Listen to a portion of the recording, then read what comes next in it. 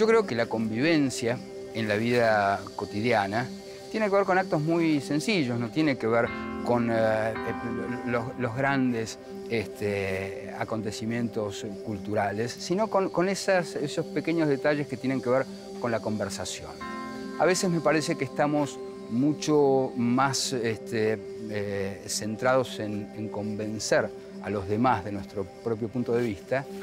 cuando me parece a mí que, el acto íntimo más democrático es saber ser permeable a las ideas de los demás y escuchar. Yo creo que los mejores escritores, los mejores intelectuales, las mejores personas son aquellas que saben escuchar.